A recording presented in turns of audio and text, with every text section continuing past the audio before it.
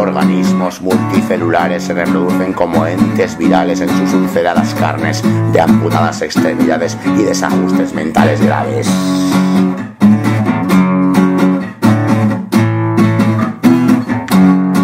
El hambre, la peste, la guerra, la muerte. Una exhibición ecuestre ejecutada por seres inertes que todo compran y venden, cueste lo que cueste. En un teatro custodiado por uniformes armados, el público aclama entregado a los bufones contratados que declaman alucinados austeras burlas de depravados.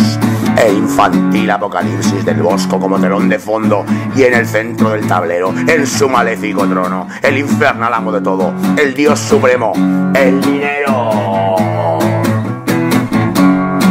Las plagas, la inmundicia. El fin.